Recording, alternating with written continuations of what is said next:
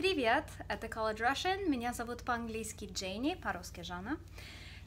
Today we are going to share another interesting fact about the Russian language for all of you language nerds who like to know weird little tidbits about languages.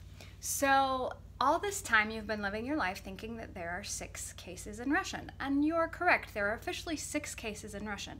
Now if you've ever gone to learn another Slavic language like Ukrainian or Czech, you'll notice that they have a seventh case that they use in everyday usage. It's called the vocative case, звательный падеж, по-русски.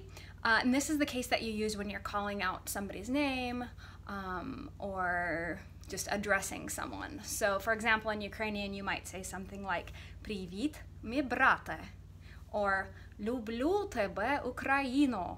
Those are all using the vocative case because you're calling out to the person.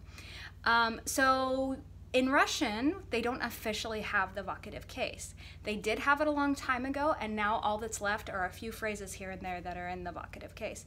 So, for example, did you know that you're using the vocative case in Russian when you say phrases like Господи, right? So you're calling out to the Lord. You're using his name in the vocative case.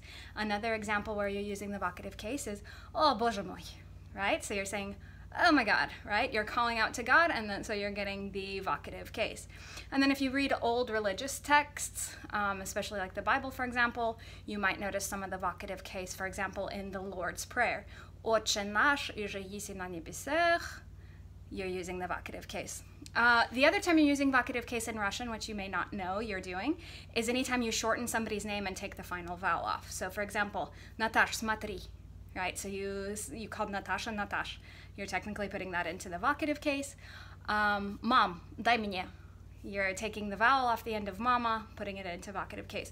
So that's just a random little fact about Russian. Technically, there are more cases than just the six, but they've sort of melted away over time or they've blended into other cases. Now, if you know of any other Slavic languages that have the official vocative case, right below, I'm only aware of, as of right now, I'm only aware of Ukrainian and Czech, but I'm sure there are other ones that use the vocative case in everyday usage. So now you know that, and you can be the super fun, interesting person that the teacher when they tell you that there are six cases in Russian. There's technically more. That's all for you, language nerds, today. I hope you enjoyed that.